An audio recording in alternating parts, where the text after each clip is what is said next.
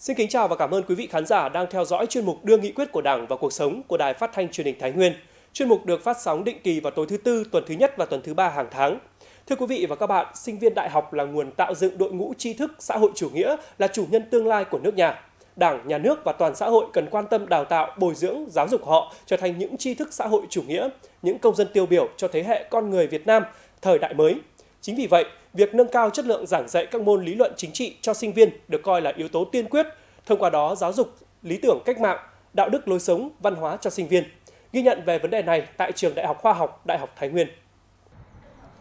Theo tinh thần nghị quyết 35 NQTU của Bộ Chính trị khóa 12, sinh viên là một lực lượng quan trọng trong công tác bảo vệ nền tảng tư tưởng của Đảng, đấu tranh phản bác các quan điểm sai trái thù địch. Chính vì vậy, trong các nội dung giáo dục, đào tạo, bồi dưỡng cho sinh viên cần thiết phải tăng cường giáo dục về chủ nghĩa Mark Lenin, tư tưởng Hồ Chí Minh, đường lối, quan điểm của Đảng, chính sách pháp luật của nhà nước.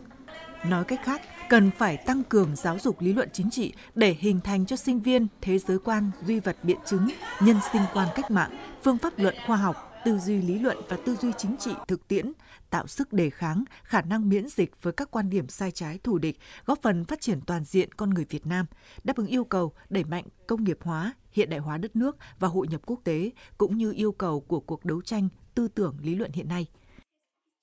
Từ sau khi Ban Bí thư Trung ương Đảng ban hành kết luận số 94 NQTU ngày 28 tháng 3 2014 về tiếp tục đổi mới việc học tập lý luận chính trị trong hệ thống giáo dục quốc dân, công tác giáo dục lý luận chính trị cho sinh viên đại học có những chuyển biến quan trọng. Ở các trường đại học, nhất là trong các trường đại học công lập, Đảng ủy ban giám hiệu nhà trường đã thường xuyên quan tâm, lãnh đạo chỉ đạo, tổ chức thực hiện việc hoàn thiện chương trình, đổi mới nội dung, giáo trình, đa dạng hóa hình thức, phương pháp giảng dạy. Chú trọng công tác tổ chức đổi mới cơ chế quản lý, giảng dạy các môn lý luận chính trị, quan tâm xây dựng, nâng cao trình độ học vấn, phát triển năng lực giảng dạy, năng lực nghiên cứu lý luận, nghiên cứu tổng kết thực tiễn và rèn luyện tu dưỡng phẩm chất chính trị, tư tưởng, đạo đức, lập trường, quan điểm cách mạng, lòng yêu nghề, khát vọng cống hiến cho đội ngũ giảng viên lý luận chính trị quan tâm đầu tư xây dựng cơ sở vật chất, hiện đại hóa phương tiện dạy học, phát triển hệ thống thư viện, tài liệu, phục vụ nghiên cứu và giảng dạy lý luận chính trị. Trong những năm gần đây, nhất là sau khi Đảng ta ban hành nghị quyết Ban chấp hành Trung ương 8 khóa 11 về đổi mới căn bản toàn diện giáo dục và đào tạo trong điều kiện kinh tế thị trường, định hướng xã hội chủ nghĩa và hội nhập quốc tế, tại các trường đại học đã có bước chuyển mạnh mẽ và hiệu quả trong đổi mới phương pháp giáo dục lý luận chính trị. Đây là những hình ảnh quen thuộc trong một tiết giảng tại lớp học Kinh tế Chính trị tại Trường Đại học Khoa học Đại học Thái Nguyên. Giảng viên đã từng bước chuyển từ phương pháp truyền đạt tri thức thụ động, thầy giảng, trò ghi sang phương pháp giảng dạy tích cực, thầy hướng dẫn học trò chủ động tư duy. Trong những năm qua thì à, bộ môn lý luận chính trị của trường Đại học Khoa học đã có rất nhiều những cái đổi mới trong phương pháp giảng dạy và đánh giá đối với việc học các môn lý luận chính trị.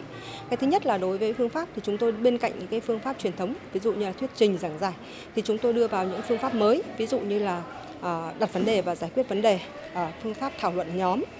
giao bài cho sinh viên để sinh viên chuẩn bị sau đấy thì thuyết trình trên lớp. Ờ, giáo viên có thể tổ chức những cái trò chơi, những cái game nhỏ để sinh viên có thể tham gia và cái điều đấy thì có thể đã thu hút được sinh viên vào cái quá trình mà học tập. Các em tăng cường cái sự chủ động ờ, tích cực và cái kỹ năng trong việc thuyết trình, kỹ năng thảo luận làm việc nhóm của em tăng lên. Cái thứ hai là đối với những cái bài giảng của chúng tôi thì 100% đấy là đều sử dụng giáo án điện tử. Cái thứ ba đó là kết hợp giữa giảng dạy các môn lý luận chính trị với những cái vấn đề của đất nước cũng như là quốc tế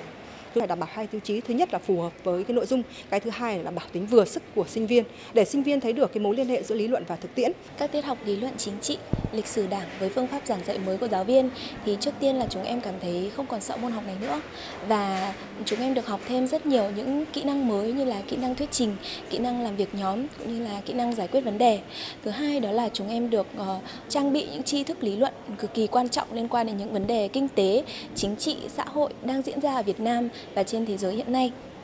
Và càng học thì chúng em càng thấm nhuần được hơn là Ờ, con đường mà bác đã lựa chọn đó là đưa Việt Nam ờ, đi lên theo con đường chủ nghĩa xã hội và bỏ qua thời kỳ tư bản chủ nghĩa là một con đường cực kỳ đúng đắn. À, với những phương pháp giảng dạy mới của giáo viên thì em đang cảm thấy việc học các môn về lý luận chính trị đã không còn khô khan hay là khó hiểu và nhàm chán nữa mà hiện tại các môn học đều đang gắn liền với uh, đời sống xã hội những thắng lợi vĩ đại của cách mạng Việt Nam từ cách mạng dân tộc dân chủ nhân dân đến cách mạng xã hội chủ nghĩa đều gắn liền với vai trò lãnh đạo của Đảng Cộng sản Việt Nam.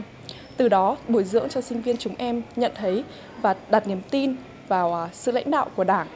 ờ, định hướng phấn đấu theo mục tiêu, lý tưởng,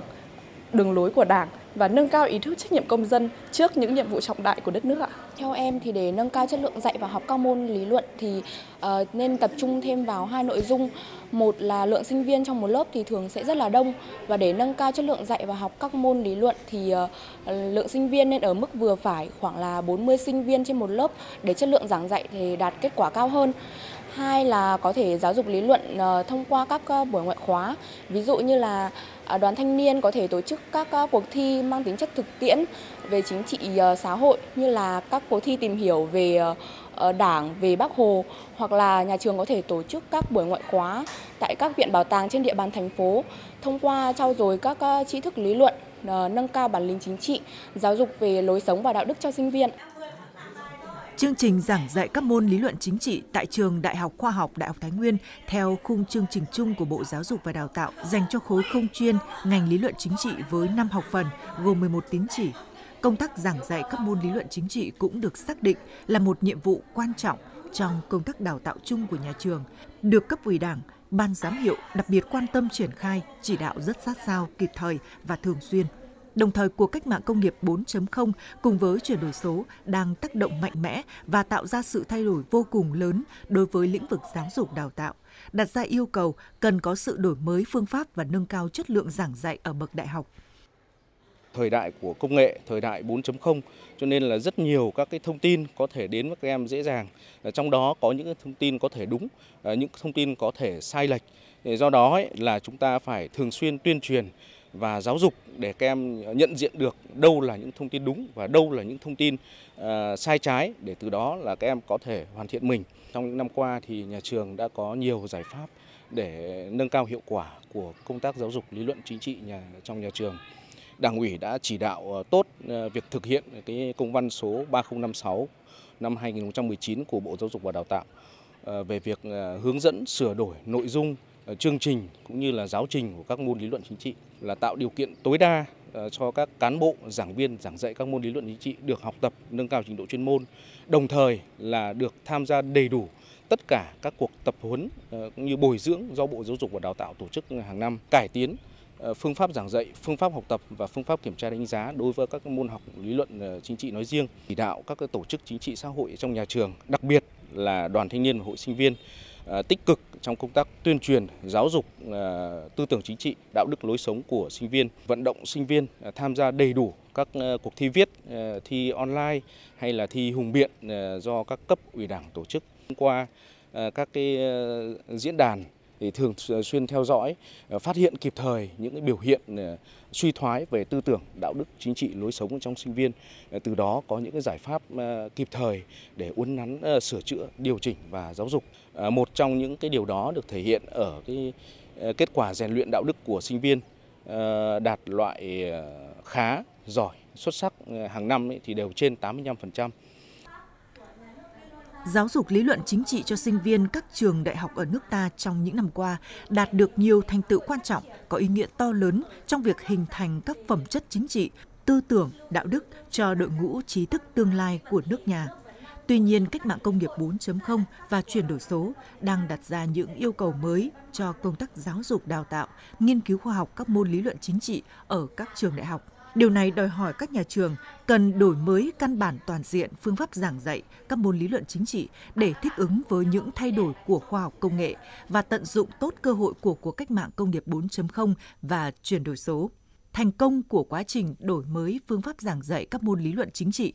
cũng giúp nhà trường nhanh chóng thích ứng với những yêu cầu, đòi hỏi đó, đồng thời góp phần xây dựng nhà trường là cơ sở giáo dục đào tạo có chất lượng của cả nước. Thưa quý vị, đến đây chuyên mục đưa nghị quyết của Đảng vào cuộc sống của Đài Phát thanh Truyền hình Thái Nguyên cũng xin được khép lại. Cảm ơn sự quan tâm theo dõi của quý vị khán giả. Xin kính chào tạm biệt và hẹn gặp lại.